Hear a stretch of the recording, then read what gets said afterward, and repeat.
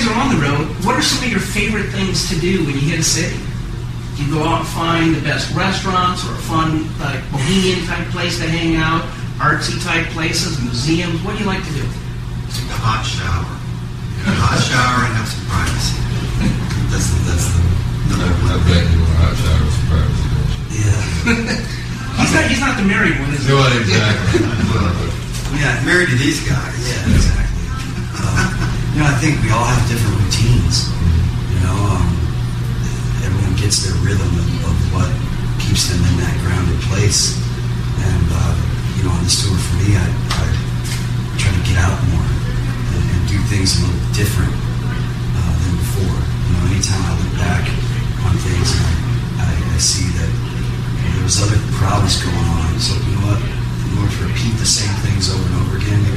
mix it up, even if I don't feel like it. So getting out in the sun, or checking out a museum, taking my kids to the park, and, and you know, just just trying to live normal and just make it a part of your your life instead of hiding. Because I felt like for years and years, uh, that all of us at some point in time hid. Uh, and I think now, you know, there's a there's a comfort, and everyone does their thing, and we all respect it. Uh, so, there's nothing. It's not, not like it's personal. Or, you know, we're not together all the time. We, we appreciate, uh, you know, the independence and, and respect that in each other, and, and try to do whatever we can to to you know not interfere with each other's vibe, and, and, and that keeps our vibe together good. You guys have been to Atlanta a number of times. Is there any specific spot where fans would come out and find you guys hanging out? Look at Yeah. Yeah, Buckhead back in the day, it was the, uh, played a place called the Community Club that I used to frequent a lot before we had a record deal. Mark at the mall, The mall. At the mall? was always a the mall. bookstore. I remember at the community club when I had a little bit too much to drink one night, and they all left me under the steps. I was in under the steps around the corner. we had, we had a baseball game one day. Really? Yeah, big fan.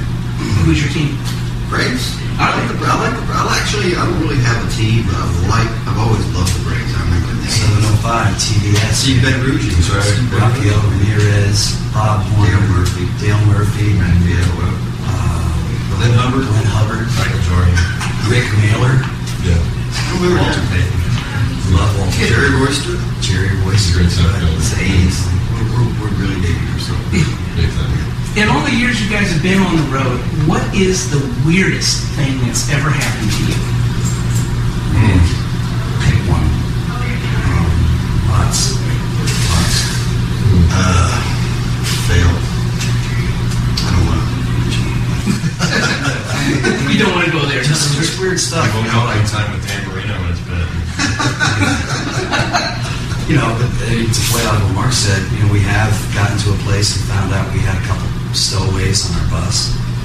Uh, and that was kind of weird. Uh, you know, uh, but, you know, I mean, just regular things that people who travel probably run into, experiencing with other people and, and unique situations. I mean, we kind of went through uh, a lot of our our college partying days, uh, you know, in public eye and on tour. So a lot of interesting things happened during those days.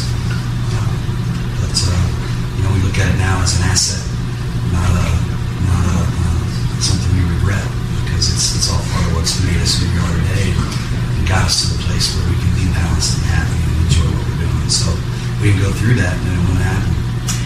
Well, thank you very much, guys. I really appreciate the time. It's been uh, fun with Creed.